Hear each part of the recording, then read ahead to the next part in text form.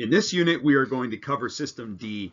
Now, the textbook for this course uh, that I'm recording the video for is a Linux textbook that was written originally, I think about three years ago.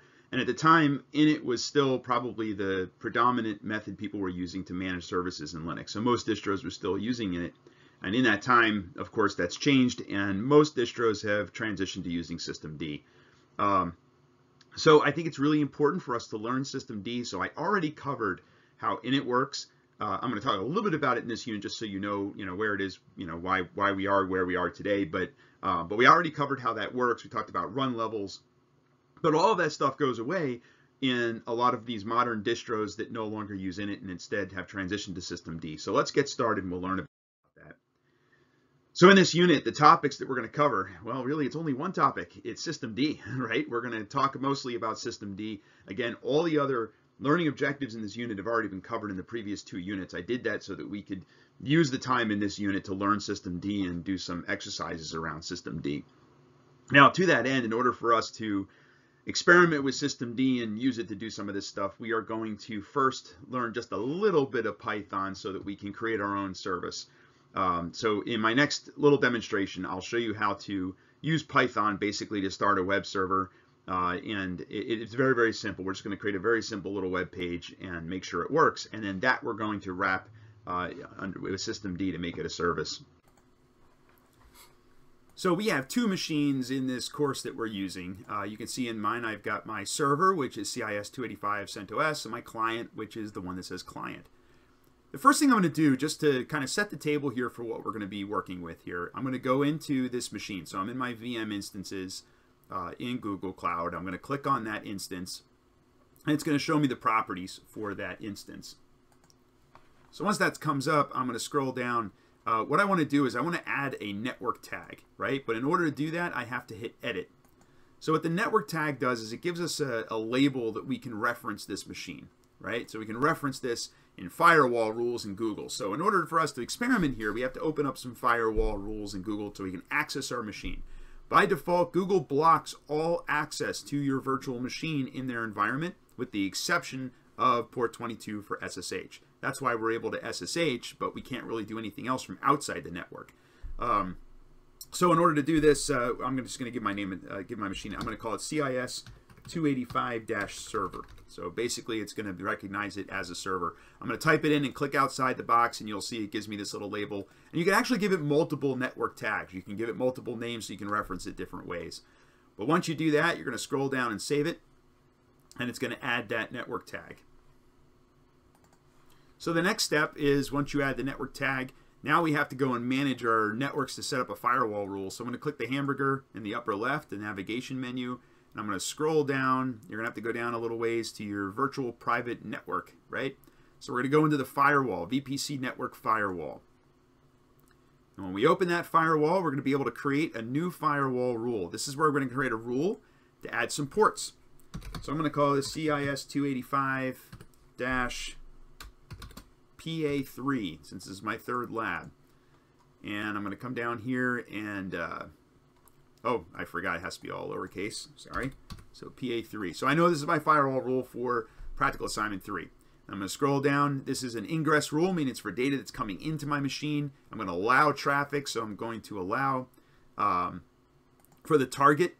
Uh, I'm going to say specified, uh, or all, all, all instances are fine. Um, actually, we're going to do uh, target tag, right? Because we want to specify that specific machine that we created the tag for. So I'm going to type CIS 285 dash uh, server, right? That was the uh, the tag that I created earlier. So CIS 285 dash server should be that machine.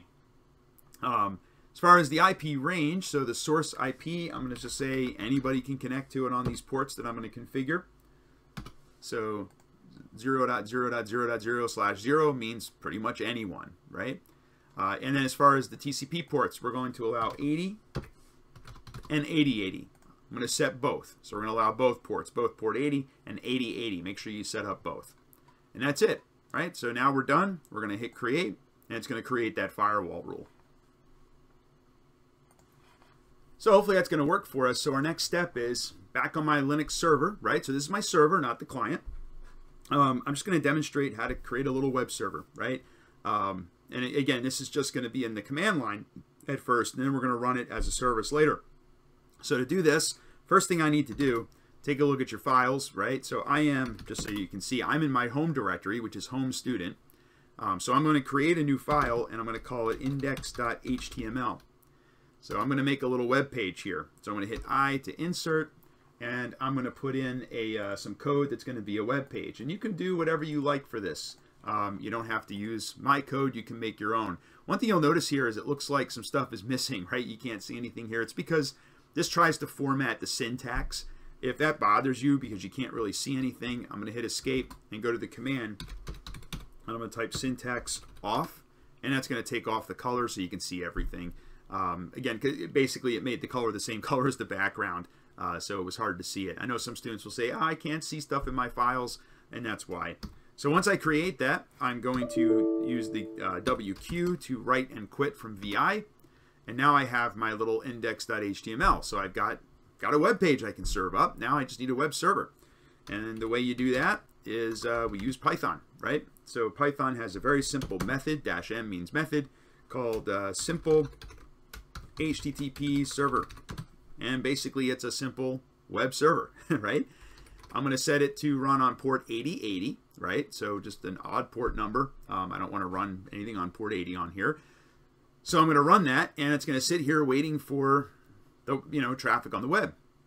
So what I'm going to do to test it is I'm going to open up my client, and I'm going to telnet to it.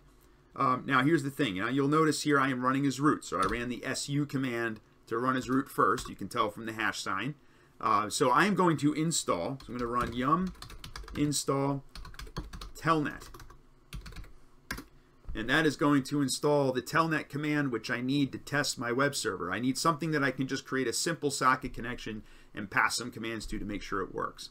So once I have the telnet command, I can type telnet and then the name of the machine that I want to connect to, which is CIS285 CentOS 7 is its host name, and I'm going to use port 8080 and it looks like it didn't connect. So now we have to figure out why it didn't connect, right?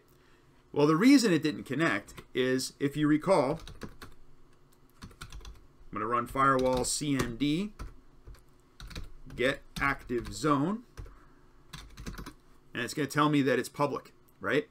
So the problem here is we have to add the uh, um, we have to add a zone here, right? We have to add the zone for um, or we have to add rather a port to that zone. So first, I'm not running as root, so now I'm going to go ahead and log in as root. I think I typed the password wrong, so it might ask me to do it again. Do it one more time. I'm not very good at talking and typing at the same time. All right. Now, if you recall how we did this before, is uh, we would add a service to a zone, right? So I'm going to run firewall cmd, and then we're going to uh, set our zone to public. And then we're going to add a service, and we're going to use HTTP. That's going to add HTTP, right, to our service list. It works. But here's the problem, is the other port that I want to add, 80, that's port 80. But for 8080, there is no service associated with that. So how do I do that? Well, that's going to be adding a port. So here we're just going to add a specific port number we're going to set it to 8080, and we're going to tell it to use TCP for that. And it adds it, right? And we can also take a look to make sure that worked. So we'll use firewall D and we'll do uh, the zone is public and we'll just list services. And you can see here we've got HTTP, right? And we can also do list ports least I think we should be able to list ports. Let's try it. There you go. So there's our ports 80, T 80 uh, on TCP. And we also uh, have to make this permanent, right? Otherwise, the next time we restart firewall D, uh, it's not going to work. So I'm going to add the permanent keyword here. That way, if we restart the machine, it'll be permanent. Oops, that did not work. Oh, sorry. I have to do it for each of these commands that we ran. Um, so we're going to come in here, add the permanent keyword. So that permanently adds the port. And then we'll do the same thing with uh, the service.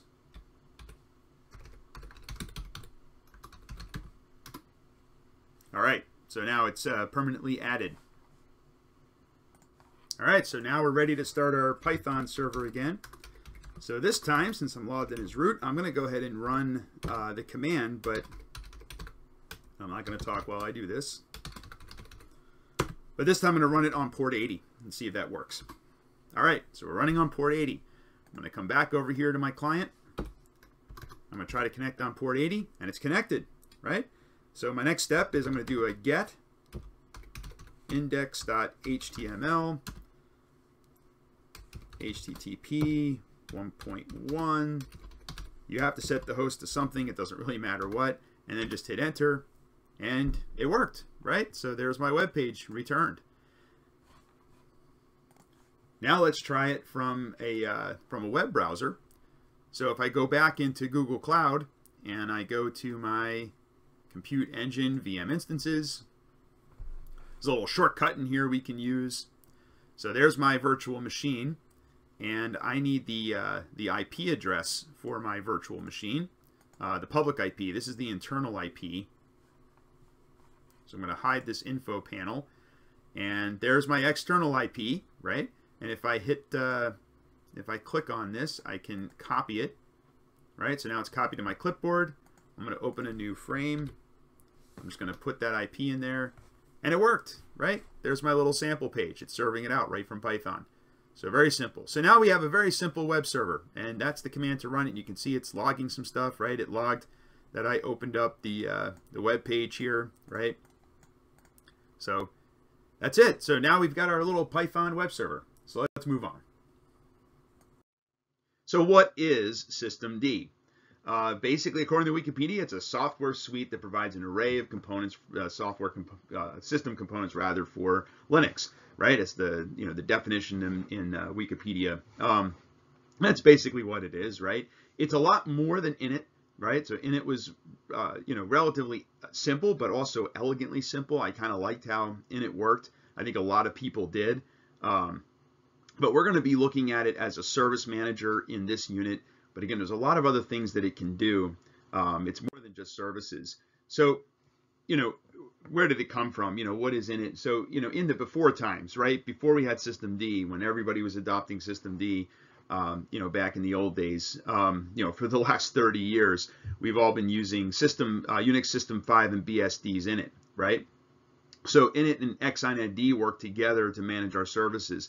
Init was basically, you know, this is where you saw the run levels in my previous lecture, right? Um, it was what used those run level files. So the rc.d daemon. So you would have all these different uh, folders, well, I should say directories in Linux, right? You had all these different directories um, labeled 0 through 6, and in each one of those directories, you had a soft link to a uh, file that had the instructions on how to start or stop a service, and that link was prefixed with an S for um, an S for start and a K for kill, right? So if you went to a certain run level, it would decide whether to start or kill, and it was all file based, right? Um, so everything was really file based. There was this one init daemon that ran that used the files to figure out all this stuff, right? So it was a relatively simple, elegantly simple solution, but uh, there was a lot of things that it couldn't do. So people started developing, um, you know, tools around it. One of those tools was uh, xinetd, which was a TCP wrapper. Uh, so from a security perspective, one of the problems that folks had was that the uh, services were binding to ports directly that maybe shouldn't, uh, that didn't have uh, you know, that weren't very, that there wasn't a lot of rigor around their development uh, and how they work. So people wanted to wrap them, and there was other reasons for efficiency and so forth.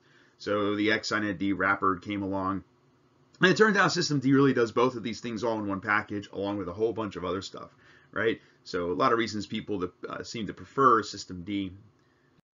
So where did it come from? Um, you know, so basically two Red Hat engineers, these two guys uh, developed it back in 2010, right? So in 2010, they started developing a replacement for init. And I think what happened was Red Hat, you know, at the time, Red Hat was the largest uh, commercial supplier of Linux, right? And they recognized the need, you know, and it was falling short for some things, and they recognized the need. And these two guys says, you know what, we're going to develop a replacement for Red Hat, right? And I think you know, if I had to guess, they probably originally int intended to do this for Red Hat, and it sort of, you know, because it has to work with the kernel, they didn't want to have a one-off version of the kernel, right? It changes. There's a lot of changes that have to happen in the kernel for systemd to work. So they didn't want to have a one-off for Red Hat. So, you know, you make it something that's available to everyone. So, you know, with all these changes uh, that have to happen, it's a, and it's a it's a huge change going from init to systemd. Uh, there was a lot of consternation about this in the Linux world. Uh, this isn't a change that just kind of happened, you know, organically, right? There was a lot of debate. There was a lot of back and forth. Uh, I kind of gave you two links here to take a look at. Um, if you're offended by bad language, please don't click on them. Um, the first one is an email from Linus Torvalds to the developers of systemd, and uh, you could tell he's not very happy about uh, the development of systemd and, and how they were moving forward. Um, and that was a long time ago. It was probably around 2013, I think it was.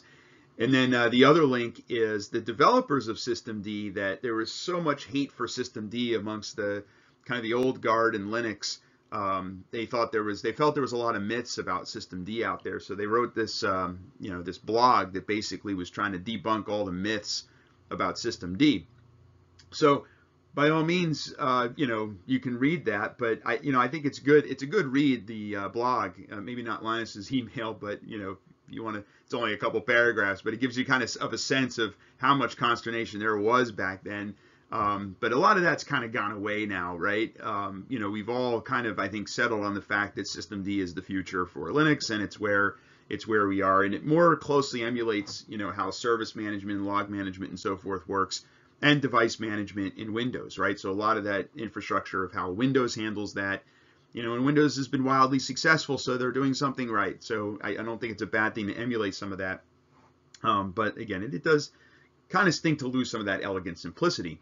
But this is also from Wikipedia, just to give you an idea. This is all the different distros that either support or, or are not using systemd. And you can see almost all of the recent, uh, most recent distros, all the popular ones that you know that you hear people talk about, you know, CentOS, what we're using, right? System D, Red Hat, even all the Debian, most of the Debian distros are using it. Um, if you use Kali Linux, right, which is a you know good for people who are security researchers, and you know we're not using it in this class, even though it's a security class, but Kali is you know also using system D, right? So uh, the only the only popular one I could think of is Knoppix. I think Knoppix, yeah, it's on the list here. Knoppix is not using it. It's still using the old one. Although this list might be outdated. They may have switched by now.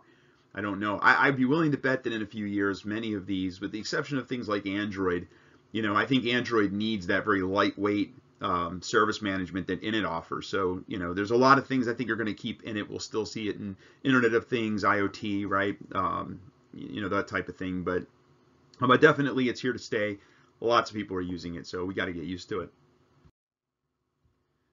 So it's more than just a service manager, as I said before. It's a suite of tools, and we're going to explore some of those tools.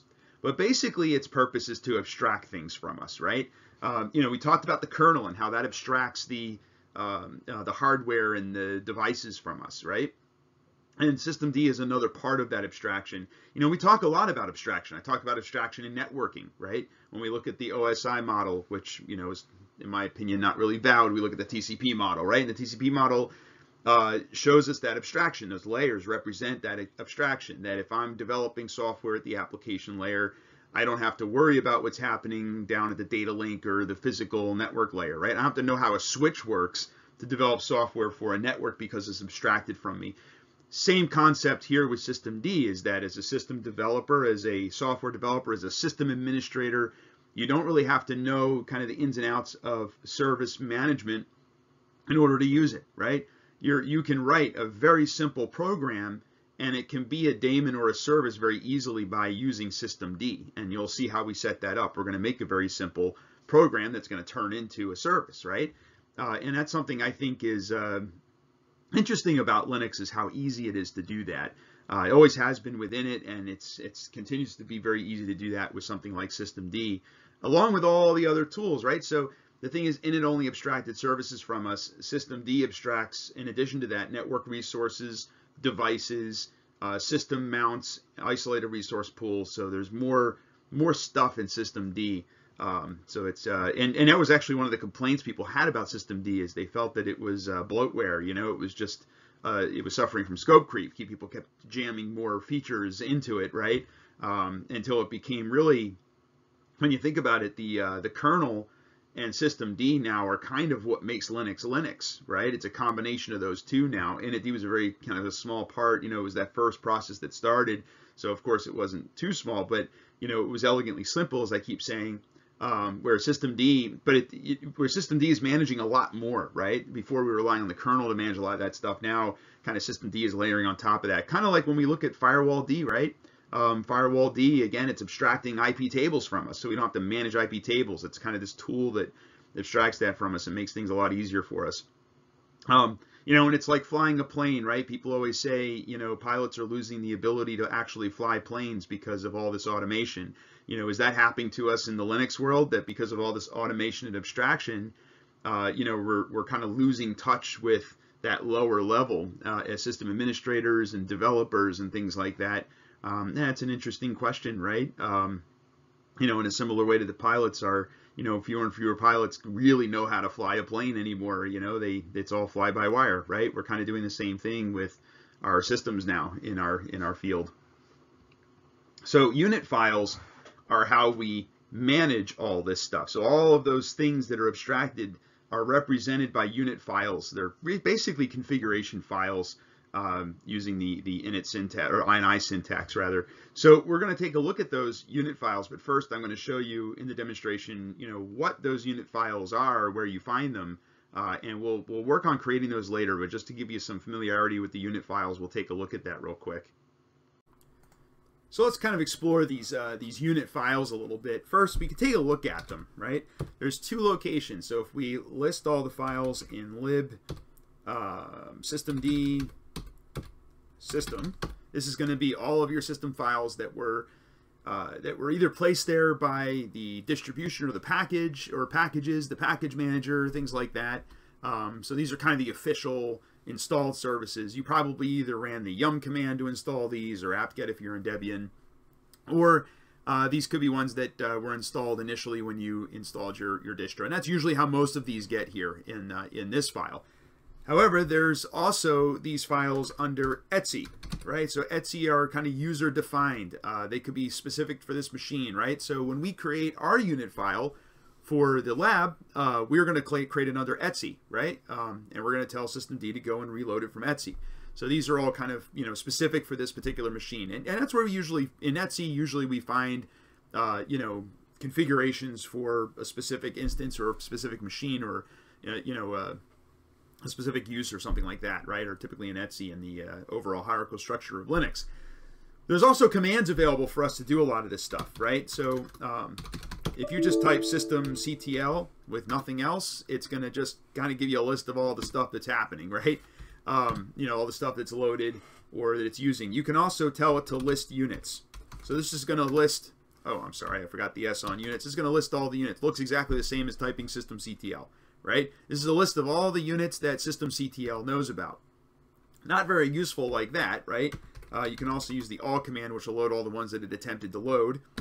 So the other option we have here is uh, we can look at all of the ones that have a specific state, for example. So we'll look at all that have a state that is equal to inactive. Oh, sorry, I uh, forgot the A on all, right? So these are all the inactive uh, unit files, right? We're not using them, right? They're not actually doing anything, uh, as an example. I, by the way, I'm hitting Q to quit every time I run these commands. We can also take a look at the ones that are just services, right? So I could say just show where the type is a service because we're really primarily concerned with services in this unit. So here's a list of all the unit files that define services on my machine. It's a pretty long list, right? These are all services that, uh, that systemd knows about, that it's going to try to manage. Um, theoretically, I could just say, you know, not only show me all the services, but only show the ones um, where the state is running, right? In other words, it's an actual running service, right? Much shorter list. This is a list of all the services that are actually running on my machine right now, which is pretty useful, right? Uh, to know exactly which services that systemd manages I'm actually running, right? So kind of a useful command. Um, we can also look at the unit files, right? So a little bit different. We can list unit files. And this shows us the actual unit files and what their states are, right? So you can see whether it's static, disabled, or enabled, right? Uh, disabled means it was specifically disabled by the admin. Enabled means that it's uh, gonna it's it's enabled for a target, right? So it's gonna try to start with a with a particular target. Uh, in static, it's neither, right? Somebody could start it if they wanted to, but it's not really it's not disabled, but it's also not enabled, right? So somebody could start it. Disabled, you can't start. You have to, you know, you won't be able to start those unless you uh, unless you set it to static. So let's uh, take a look at um, um, an actual unit file, right? And by the way, when we list unit files, we can also show, you know, just ones that are enabled, right? Um, in fact, I'll show you there. So if we do uh, state equals enabled, we should see just the enabled ones, right? And we looked at that earlier in another lab. Now we could also look at the contents of these files, right? So if I uh, run system ctl um, cat, that's going to just output the contents of a file. We'll do vsftp, right? That's one that we set up earlier. And if you don't have vsftp for some reason, you could do sshd, right? That'll work as well. So there's the contents of the vsftpd uh, service unit file. We could have looked at it, right? We could have just gone and, you know, catted the contents of that unit file, but we can also do it with systemctl. What's nice about doing it with systemctl is it shows you the current version of the file that systemctl has, right? That tells us whether or not we need to, you know, if we have an outdated version. So we might make a change in a unit file, check to make sure that systemctl is seeing that change, and if it's not, we can reload the settings, right? You can see here the type is forking. I talked about that. You can see that it's uh, the execute start is pointing to the vsftpd binary executable and user bin and it's uh, as an argument it's passing the config file for vsftpd so that's how it goes and gets the config file right? And in theory we could go in here and modify this and use a different config file if we wanted to right? We can also show dependencies. So if we uh, let me just get rid of cat here. So we'll do uh, list dependencies.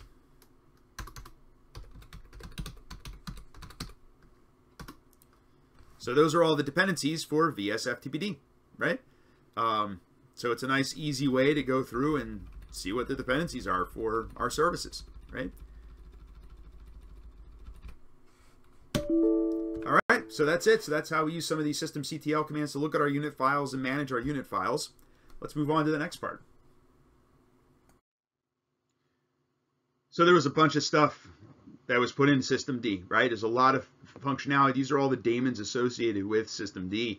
Um, so lots of components here. Um, in addition to system D, right? You have system D and then you have all these child uh, processes that run under system D that are associated with it. Uh, journal D is probably um, one that we're going to use in this unit. Um, this is how you do logging, right? So it's the logging mechanism uh, that's part of system D, right? Um, so it does your log rotation, it captures logs from services. It's all about logging from services though, right? Not from individual applications that you're running in the shell or in your bash uh, session. So we'll take a look at that and how to work with uh, journal uh, journal D. And then login D is of course the login manager. You know, when you log into your machine, it's login D that's managing that, right? Uh, resolve is name resolution.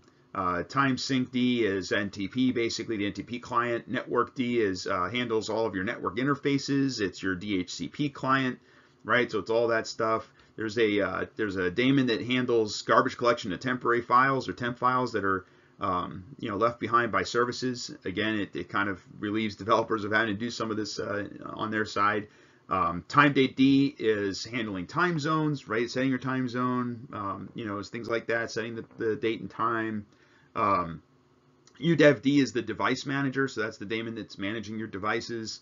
Uh, and then system boot D or system D boot is the boot manager in system D. So really, you look at this, it's everything, right? System D is basically managing the minutia of everything on your machine, right? Um, so this in combination with the kernel, I mean, that's that's everything, right? Um, but it's important to know what these different daemons are and, and what they're responsible for.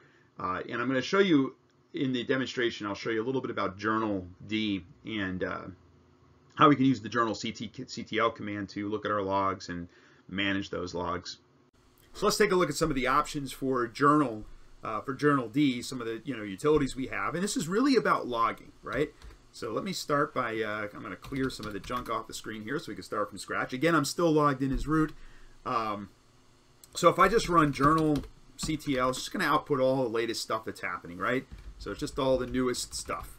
Okay. Now, if I uh, let me go ahead and clear all that junk off the screen.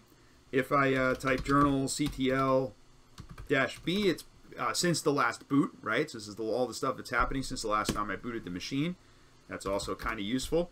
Um, but I could also just look at things that happened in uh, in a period of time, right?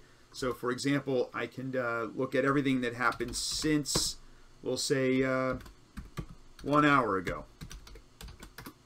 Right? So that's everything in the last hour. I could also do one day, two days, a week, you know, whatever. There's a couple different things you could type in there, but it's an easy way to just take. You can also put specific dates. You could put ANSI formatted dates and make a date range. If you know specifically between this time and this time, I want to see what happened on my system. All right, so another option here is we can look at entries for a specific service, right? So for example, I can uh, pass dash U for a unit file, right? So specific unit file. We're going to do VSFTPD. Oh, sorry, I have to put uh, dot service on here. And nothing's happened for VSFTPD, right? Uh, so let's go ahead and start it. So we use the systemctl command. Um, and we're going to start VSFTPD. So now hopefully it started. So now I should be able to go over to my client machine just like we did the other day. And I'm going to type FTP CIS 285 dash oops sorry I should have made my machine something easy to type alright so we're to FTP to CentOS 7 I am going to log in as student, but I'm going to purposely put in the wrong password and it's going to fail. Right? So it logged in. So that should have been logged. So now, oh, sorry. Now if I look at it, so now I can see that log entry, that it failed, right? So that's a serious issue. It gets logged out that somebody tried to log in and there was an authentication failure, right? What's neat about Journal CTL is instead of just looking at it statically, I can pass the dash F option and it's going to show me in real time. So maybe I'm doing some troubleshooting and I want to see kind of a dashboard in real time of what's happening with that service. I'm going to come back over here. Now take a look in the background what happens, right? So I'm going to uh, quit from my FTP session. I'm going to try to log in again. Type student. Type in a bad password. And now watch, I'm going to hit enter on the password. It's going to fail, but look what happens in the live journaling. And you can see it automatically journaled out that uh, or logged out that somebody tried to log in as student, put the wrong password in, and then it fails in my other window. So that's just some of the stuff that we can do with Journal CTL. Again, it's great for troubleshooting. It's how we're going to tell when things go wrong when we're uh, working with our services. So a little bit more on unit files, right? We're going to use unit files to manage services. Uh, there are a bunch of different types of unit files. I'm going to talk about five of them here. The, the service one is the one that we're going to use, right? We're going to create a service unit file. This is the unit file that defines a service, right? Or a daemon that runs in the background, right? Um, as a child of systemd. And it's not running in a, you know, a logged in user space. Um, so we'll see how to do that. So it has instructions on how to start and stop services basically and where to find a service uh, binary and so forth and some of the other options that we'll talk about. Socket is a unit file for uh, defining a network socket. What's interesting about systemd is, um, and XINetD kind of did this, is you can create a socket that whenever connections are made to a socket, it launches a process to do something, right? That's a little different than a service because a service is always running, right? Whereas with a socket, you can you can trigger um, this is one of the things you could do with Socket is you can trigger a process to run to do something with that with that data. So, for example, if you set up an FTP server, sometimes it doesn't make sense to have it running in the background all the time because it's rarely used. Um, so you could use something that triggers it, you know, when on on demand, right? It can also make uh, make it a little bit more secure, right? Uh, so a variety of reasons you would do that. And then device, uh, that's of course for mounting uh, devices using systemd. So your devices have a unit file uh, again, a little bit different than how things were done prior to when we had systemd. And then you have your mount, um, uh, your mount unit files, kind of like fstab, right? Uh, if you learned about that in the previous course, you should have learned a little bit about fstab. Um, the systemd really kind of handles that here. And then targets. So targets are kind of like a collection of stuff. And, and think about runtime, right? Or run levels. when we talked about run levels, you know, run level zero was stopping your machine, run level six was rebooting, and then you had a bunch of run levels that were in between. Um, the targets are kind of like run levels, right? It's if your target is multi-user, right, normal multi-user mode, then that target defines, you know, all the different services and all the different unit files that have to get initialized at that target. Um, so you can have different targets, right? A target for reboot, a target for shutting down, a target for normal no mode, target for not networking, single user mode, and so forth, just like we did with our run levels. Um, so again, it's a little bit different, but the concept is the same, but how we configure it is a little bit different. Um, I would say, just I think you know, for a lot of folks at first it seems kind of confusing because in, init you had just this very simple structure of directories and you knew whatever was in zero was all the stuff that was going to get stopped. You knew whatever in one was all the stuff starting and stopping when you transition to the, the state of one, right? Um, but here, when we transition between states, there, you have to, you, these unit files are kind of connected to the target, right? So you, you reference a target from your unit file to say, I want this service started with that target. And when systemd initializes all your unit files, it, it sorts all that out. It kind of makes this map of, you know, of, of how all this works together and what has to be started and what has to be stopped as it transitions to different states when a user initiates that. So, um, so that's basically what targets are. You're going to see when we create our unit file, we are going to set a target. Uh, you know, we're going to make sure it's in the right target so that if somebody enables the service, meaning I always want it to start, uh, you know, when the system starts up, in order for that to work, you have to have a target set that's valid so it knows which state, system state to automatically start it up when it's enabled. So when you do that systemctl enable, which we did with VSFTP, how did it know which state in order to start it with? That's how it worked, right? All right, so that's a little bit about unit files. Um, basically, unit files contain sections.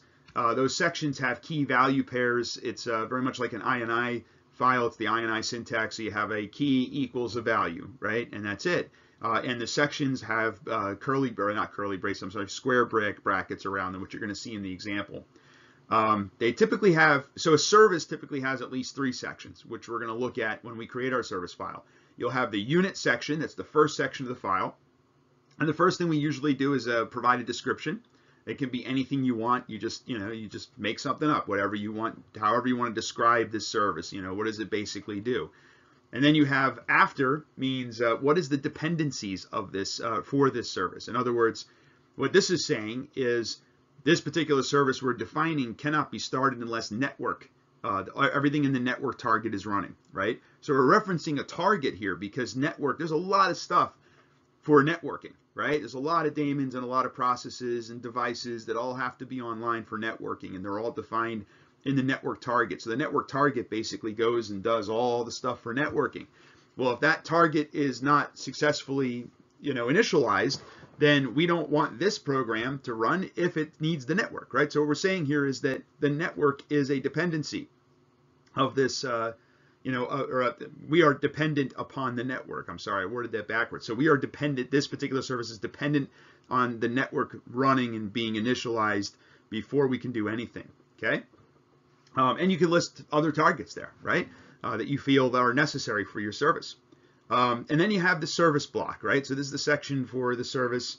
Uh, the type I put here simple. That's the most common. It's, you know, typically what services are, but there are other ones. Um, forking, for example, is if you have a service that starts, but it spawns other processes that create other child process IDs, uh, systemd needs to know that, that that's going to happen, right? And you do that by using the forking uh, type. So, uh, so simple is just one process that runs. Forking is where you'll have lots of other processes that get spawned. And sometimes the initial process that uh, systemd starts actually is going out and starting other processes. And when it's done, it shuts down. And now we have maybe three or four other processes or one other process running. And again, system D needs to know that. It doesn't want to interpret the closing of the initial, uh, you know, as a, as a crash and try to restart it when it's really these other ones that are running that's important, right? Um, so forking, again, if it works that way, you have to set it up that way. VSFTP, for example, which we installed already in this course, uh, is uh, the type is forking, right? Because it forks other processes and has uh, children that run under it. Uh, one shot is when the process that gets launched is going to run, it's going to do something, it's going to close, and it's supposed to close, right? So systemd needs to know that, that, okay, this is a process that I'm going to start that I should expect it to close down when it's done. Uh, and I don't need to restart it, you know, I don't need to worry about it. But we can also control the restart in other ways.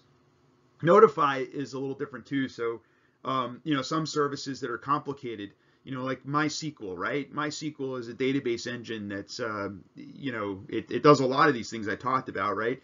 Um, but MySQL also doesn't start right away. It goes through kind of a series of startup steps. And, you know, if you set it to notify, then the system D is going to wait for all those messages to come back for the service to say, okay, I've successfully started, right? And then move on. So it's, uh, it's going to make sure that the service is actually started and it's going to take those notifications that come back and show them to the user when they issue that start command to say, hey, the start failed and here's why, or the start succeeded and here's the information about it, right? Um, so that's notify. Um, you have to tell it what user it's going to run under. So in my example here, I have student, right? I have a student user on my machine. So my service is going to run under that context of a student. And I also have to tell it what its working directory is, right? So in other words, not only the context of the user account that the service is running, but what is the location from whence it is ran, right? Uh, so here I'm saying it's running from home student, right? Just the home directory of the student user. Um, that way it has it has a place to start from, right? It has a relative path. Uh, so this way, uh, you know, if you have paths inside your, you know, in your program, they can be relative instead of, you know, hard, you know, hard paths, you know, the the full uh, path to things. And then you have exec start. Exec start is typically going to be the full path to a binary. Um, the binary being, you know, an executable program. So this is the instruction that says when somebody types systemctl space start space whatever the service name is, this is where it's going to go to figure out, okay, what exactly am I starting? What program, what application, what process am I starting? What binary am I running? Uh, and that's where it's done. And you can also have switches on here, right? You can have arguments, um, you know, various things. It'll just, it's just going to run whatever's in there, just as if you typed it at the command prompt as the user that you defined in the location that you described here, right? So it's almost like when you look at this service section, it's almost like I'm logged in with that user, I'm in the directory that's defined, and I'm going to type out those commands under execute start, and that's basically what it does. And likewise, when somebody tells the service to stop, you can tell it to run a series of commands. Now, the way this works is if you don't provide exec stop, if you don't put anything there, it's going to stand send the standard you know we, we played around with the kill command right the kill command is a way to send a signal to a process to stop right um, and there's different signals that you could send. Well one of those signals is a normal stop right? I just i you know when you're done i'd like you to close down right? Um, and that's basically what what system D will do. It's going to send that signal. But you could also override it here with exec stop and tell it to send other signals if you want. Or you can have it run other programs first before it sends the uh, the kill signal, right? Um, so you can do a variety of things here. So if the if this if the shutting down of your service is more complicated than just stopping it, right? This is where you would define that. We don't need to in our example because it's going to be relatively simple. So restart is, uh, you know, if the service somehow stops, the process it's managing stops, it needs to know what to do. Should it be restarting it? Uh, should it do nothing, right? And there's different types of failures, right? You could have, you could tell system D to always restart no matter how it stops. And by the way, when I say it stops, this is a stop event, you know, an event that, that is a process stops outside of the control of system D. So in other words, system D is sitting there and all of a sudden one of the processes that it's managing or that, that it started goes away. It says, oh, this process stopped, but I didn't stop it. I need to go do something, right? And if the reason it stopped is anything always will always restart it, no matter how it stopped or why it stopped. On success means it'll restart it even if somebody killed it on purpose, right? So I went in there and sent the standard kill message to stop the process. Uh, then systemd is going to just restart it for me, right? Automatically. Um, on failure, we'll just restart it on failure, right? Um, on success is unusual. Why would you want to stop it if it's if it was you know a, a normal uh, a normal stop that somebody initiated, right? Unless you've got you know some reason you know high availability or something that you know you need to make sure it's running all the time. Um, on abort's a pretty common one, right? On abort means that the service crashed, right? Maybe there was a fatal exception or an unhandled exception that caused the uh, the process to crash, um, that's when it will do a restart, right? To say, okay, something bad happened, let's restart this, right? That's pretty common. I think most of us would want that for our services. All right, so just a quick, uh, oh, and finally install. This is uh, where you define what targets should be launching your uh, process that you're creating here, right? So in here, we're saying multi-user. So whenever somebody uh, starts the machine in multi-user mode, uh, we're saying that this is something we want to run in multi-user. That's our intended target. Um, and you could have multiple targets if you wanted, but the um, uh, this is this is very similar to putting it into one of your run levels, right? Making sure it starts with a certain run level using the check config command, for example, which we sort of saw previously. Now, a quick word about uh, about sockets, right? So we're not going to use socket for our example because what we're going to do is we're going to have our service bind to a socket on its own uh, instead of using systemd. So instead of systemd binding to a socket and spawning our our application. Um, and I talked earlier about how socket, there's actually unit files for sockets, but you can also, when you create a service, you could have a socket section that says start on port 80 and you're going to and that's the socket and you're going to bind this process to that socket right on its behalf we're not going to do that here but that's something that's pretty common um, and you'll see that in other unit files if you look at them some of them define the socket in systemd which one is better um, you know there's a lot of documentation around that and there's probably a lot of debate about which one is better uh, for example apache does not use the socket options in uh, in systemd uh, but there are other services that do, right? So, um, you know, and Apache is probably the most common web server on the planet, right? And they don't they don't use it for a variety of reasons that they that they defend, right? Um, so there's lots of ways to look at this, but I, again, I'm not going to show you Socket here, but I, I, encourage you to go take a look at some of those options so you're aware of them, and you'll see them in some of the other init files when we look at that. And if you're looking for those options and a better explanation on some of those, um, this is, of course, your textbook doesn't really have a lot of this in it. Um, so you could go, uh, there's a URL here at the bottom of the presentation. You can go take a look or just Google around and you'll find it. There's lots of resources. The documentation for Red Hat and Debian have resources about this. Uh, there's lots of tutorials and things like that. So we already saw that we can run uh, Python as a web server, right? Um, so using a simple command. So we're going to turn that into a service so it runs automatically in the background. Now, of course, you could just run in the background with the ampersand on the end, right? Manage like a process, but that means it has to run in your user space. Uh, you have to be logged in, right? So we don't want to do that. We want it to just run in the background, right? It's a kind of a poor man's web server. So should be relatively straightforward. The first thing we need to do is create that file. Now, if you recall, when we make our own unit files, we want to do so in the etc systemd system directory, and you're going to call it whatever you want to call the service. So I'm going to call this easyweb.service, right? Dot service meaning that it's a service, right? Now I'm going to uh, add some lines to my file. Uh, so first, we know we want to, uh, give me one second, just because I have a hard time typing and talking at the same time, I'm just going to paste it in, right?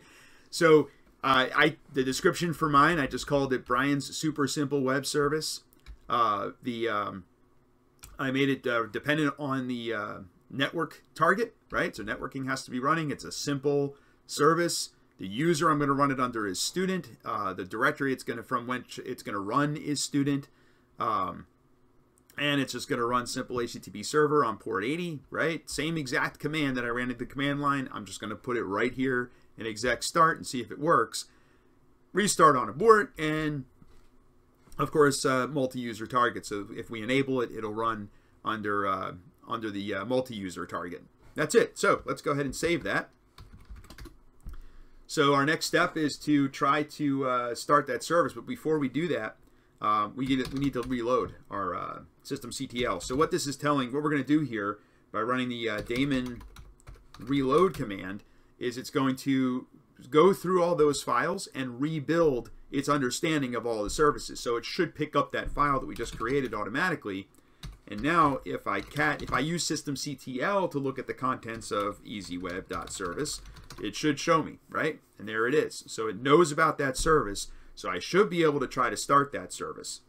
So if I come in here, just change cat to start, it tries to start and something bad happens, right? It says uh, unit is not loaded properly, uh, check your system logs, etc., etc., right? So I made a mistake in the file. I'm going to tell you what I did. So the thing about systemctl is you can't just pass the command. it has to have the path to the executable for that start. So you have to put the full path in. So I'm going to put the full path, which in this case is uh, USR bin, right? So in the USR bin directory, that's where the Python executable is. So let's go ahead and save that. And I'm going to try to start my service again. Now it says it started, right? But let's take a look and see if it uh, actually is started.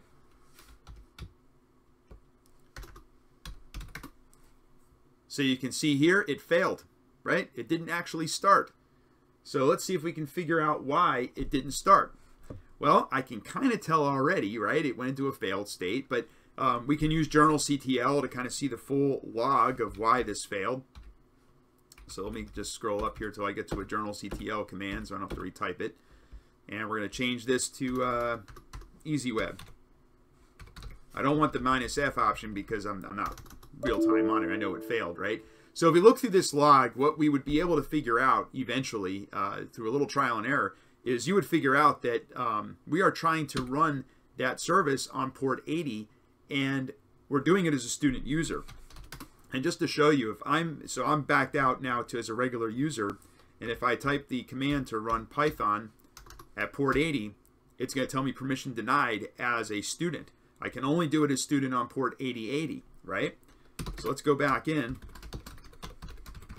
now I'm back in as a uh, root because I can't modify these files without being root. So I'm going to edit this file and just so the service is going to work because I'm using my student user, um, we are going to change to port 8080, right? Which the uh, kernel should let us start the service on port 8080 because it's not a low port number. Let's see if that works. So now we're going to try to start our web service uh, it's telling me that it uh, it thinks that I possibly changed my file, right? And in fact, if I use the cat command, let's take a look, right? So the cat command uh, shows the right value, but we need to reload the daemon. So let's see if we can find that command in here to reload. Do our daemon reload. Then we're going to do our start. It looks like it tried to start. And if we check the status,